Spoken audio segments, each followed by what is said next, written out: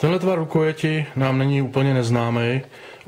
Usmísen Vesen v řadě Spec Ops je používaný docela často a myslím si, že je jeden z nejhezčích a nej, nejoblíbenějších. Teď se objevila tato velká verze s lehoučkým tantem. Je to poloautomat s fliprem, ale s tím plovoucím, který není součástí čepele.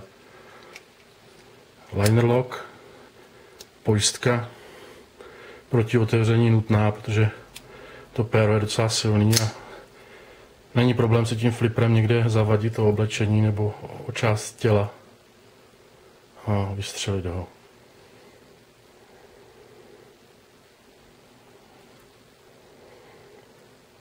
Ta rukojeť se mi vždycky líbila, ale z pravidla se dělala menší.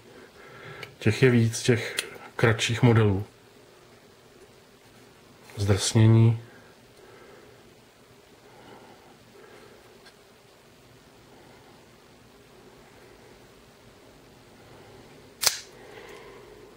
Dokonce takhle lehoučký tanto toleruju já, já jako odpůrce tohoto tvaru čepele.